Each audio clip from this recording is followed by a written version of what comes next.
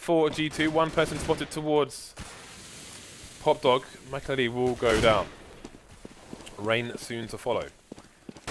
Scream is out and about in the uh, A bomb site, just killing everyone if he can. Goes down after taking two. Oops. Friendly fire. Friendly fire. Oh, nice tag there. Jacob's blood being splattered across the wall. Shox getting a nice round there for his team at the end. So, G2 did finally lose a round, and that is free ops we can spy onto the Titan side. We were talking about this earlier, actually, when we were talking